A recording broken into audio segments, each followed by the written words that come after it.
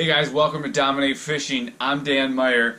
Uh, you know, the fishing around my area has been really tough lately. It's been just brutally cold, and the walleye bite has been real slow. You talk to anybody, you know, around this area, and they're not really catching walleyes.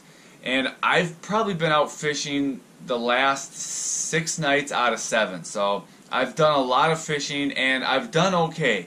I've been catching walleyes every night I go out, never setting the world on fire, but still getting a few. And I've got one bait specifically that seems to be doing the best.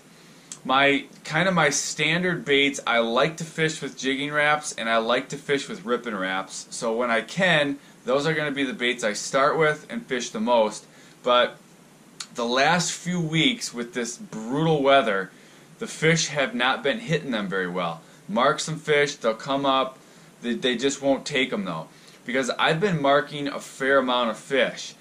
Um, but it's just been hard to get the bite. But the one bait that has been working for me is this VMC rattling spoon.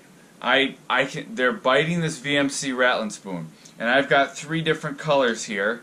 Um, there's two of them. Here's the third. I believe it is. They're all UV.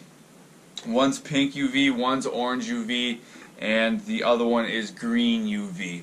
And those baits I can catch fish on. So when the fishing it gets really tough, these rattling spoons are still triggering the strike.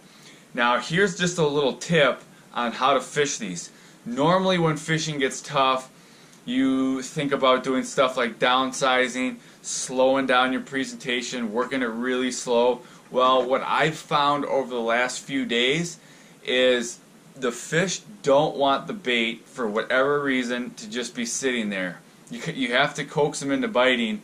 And what I've been doing that's been working real well is making big jigging strokes that are pretty quick. Just just pretty much constant, not even putting much pause in, which normally you want to pause.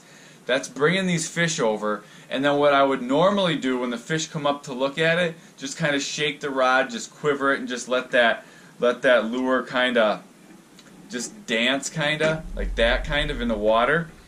Well they're not taking that. They'll, they'll come up and when you start doing that they'll drop right back down to the bottom and leave when they come up i'm working that really fast and aggressive and that's what's getting the strike so in these tough conditions the the the bright spot in the tunnel has been these VMC rattling spoons, and you got to work them pretty fast. So, you know, if you're out there and you're marking fish and they're not they're not biting, try these VMC rattling spoons. They're working real well, and experiment with different jigging cadences. If if you're working it slow, putting in pauses, and they're not biting, try really speeding it up and working it fast.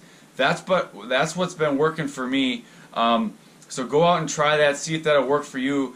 I don't know if, if the weather's you know tough, the fish just aren't biting where you're at, but if they are, try this. Or next time you get a cold front and the fish start uh, shut down, try these rattling spoons because they're really working well.